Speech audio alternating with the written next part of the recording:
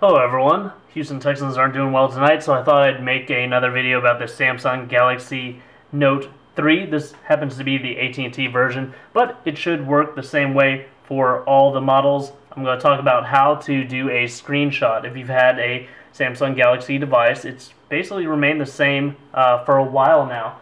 Now, most uh, Android devices, you would push power and volume down at the same time with these uh, Samsung Galaxy devices, you push power and the home button at the same time. You hear that click, and then it gives you that border that lights up, and then you have your screenshot. You can see right there, screenshot uh, captured. Let's go into the settings, controls. There are some basic palm motions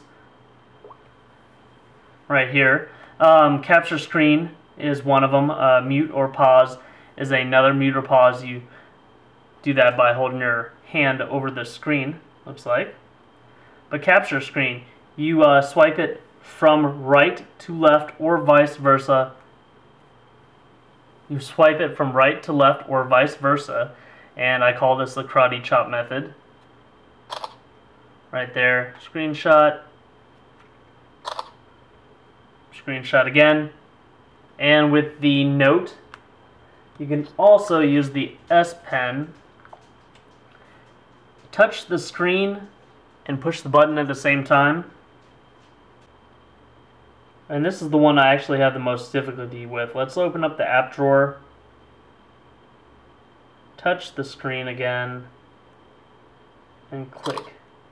We've got our screenshot and automatically opens this up where you can actually draw, and then save, share, or you can just get rid of it.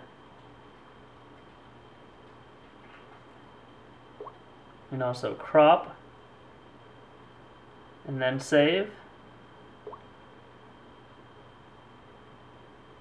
So let's go into our gallery.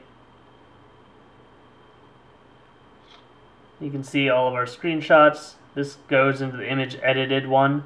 All the other ones just went into screenshot. So please like this video, subscribe to my YouTube channel. It's only through viewers like you that I'm able to obtain these devices and do these videos. Thanks a lot.